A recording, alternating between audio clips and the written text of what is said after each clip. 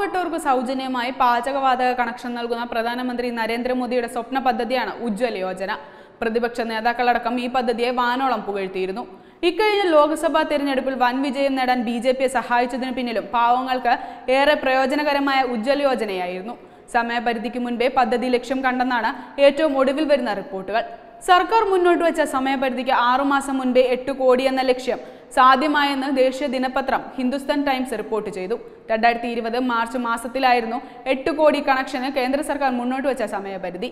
എന്നാൽ ഓഗസ്റ്റ് ഇരുപത്തിയാറിലെ കണക്ക് പ്രകാരം ഇതിനകം ഏഴ് പോയിന്റ് ഒൻപത് ഏഴ് കോടി കണക്ഷനുകൾ നൽകി കഴിഞ്ഞിട്ടുണ്ട്. എട്ട് കോടി എന്ന ലക്ഷ്യം പൂർത്തിയായാൽ അർഹരായ കൂടുതൽ പാവങ്ങൾക്ക് കൂടി പദ്ധതിയുടെ പ്രയോജനം ലഭ്യമാക്കാൻ ഒരുങ്ങുകയാണ് നരേന്ദ്രമോദി സർക്കാർ. ഇക്കഴിഞ്ഞ ഫെബ്രുവരിയിലാണ് അഞ്ചു കോടി കണക്ഷൻ എന്നത് രണ്ടായിരത്തി ഇരുപത് മാർച്ചോടെ എട്ട് കോടിയാക്കാൻ കേന്ദ്ര സർക്കാർ തീരുമാനിച്ചത്. ഇതിനായി നാലായിരത്തി എണ്ണൂറ് കോടി രൂപ അധികമായി നരേന്ദ്രമോദി സർക്കാർ അനുവദിച്ചിരുന്നു. രണ്ടായിരത്തി പതിനാറ് മെയ് മാസത്തിലാണ് നരേന്ദ്രമോദി തന്റെ സ്വപ്ന പദ്ധതിയായ ഉജ്ജ്വല യോജന അവതരിപ്പിച്ചത്. ഉത്തർപ്രദേശ് തിരഞ്ഞെടുപ്പിന് ഒൻപത് മാസം മുൻപാണ് പദ്ധതിയുടെ ഉദ്ഘാടനം നടത്തിയത്. യു പിയിലെ ബല്യ ജില്ലയിലായിരുന്നു ഉജ്ജ്വല യോജന പദ്ധതിയുടെ ഉദ്ഘാടനം.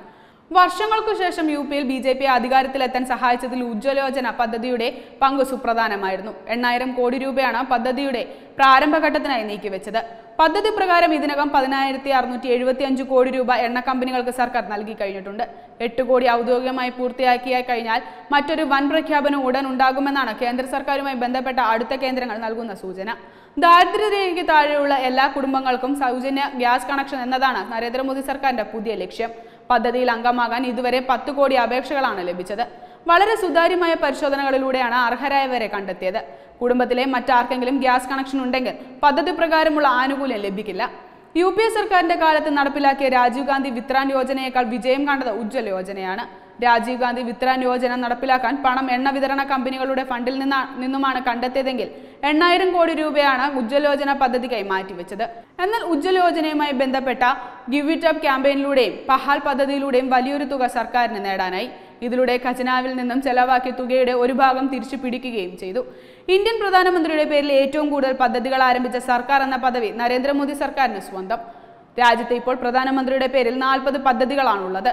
ഇക്കാര്യത്തിൽ ഇന്ത്യ കണ്ട പതിനാല് പ്രധാനമന്ത്രിമാരെയും നരേന്ദ്രമോദി കടത്തിവെട്ടി. രാജ്യത്തെ ലക്ഷക്കണക്കിന് ആളുകൾ ഇപ്പോഴും കെറോസിൻ പോലുള്ള ഇന്ധനങ്ങളെയും വിറക് കൽക്കരി തുടങ്ങിയ വസ്തുക്കളുമാണ് പാചകത്തിനായി ഉപയോഗിക്കുന്നത്. മറ്റ് ഇന്ധനങ്ങളെ അപേക്ഷിച്ച് വൃത്തിയുള്ളതും കുറഞ്ഞ അളവിൽ മാത്രം കാർബൺ പുറംതള്ളുന്നതുമാണ് എൽ വൃത്തിരഹിതമായതും കൂടുതൽ കാർബൺ പുറന്തള്ളുന്നതുമായ ഇന്ധനങ്ങളിൽ നിന്ന് നാനൂറ് സിഗരറ്റ് വലിക്കുമ്പോൾ ഉണ്ടാകുന്ന അത്രയും പുക ഉണ്ടാകുമെന്നും ഇത് സ്ത്രീകളിലും കുട്ടികളിലും ശ്വാസകോശ രോഗങ്ങൾക്ക് കാരണമാകുന്നുവെന്നും തെളിയിക്കപ്പെട്ടിട്ടുണ്ട്. വൃത്തിരഹിതമായ ഇന്ധനങ്ങൾ ഉപയോഗിക്കുന്നത് മൂലം രാജ്യത്ത് ഓരോ വർഷം അഞ്ചു ലക്ഷത്തോളം സ്ത്രീകൾ മരിക്കുന്നുവെന്ന് ലോകാരോഗ്യ സംഘടന നടത്തിയ പഠനത്തിൽ പറയുന്നു. ഈ സാഹചര്യത്തിലാണ് കൂടുതൽ വൃത്തിയുള്ള എൽ രാജ്യത്തെ അഞ്ച് കോടിയോളം അടുക്കളകളിലേക്ക് എത്തുന്നത് എന്നത് ഏറെ പ്രധാനപ്പെട്ടതാകുന്നത്.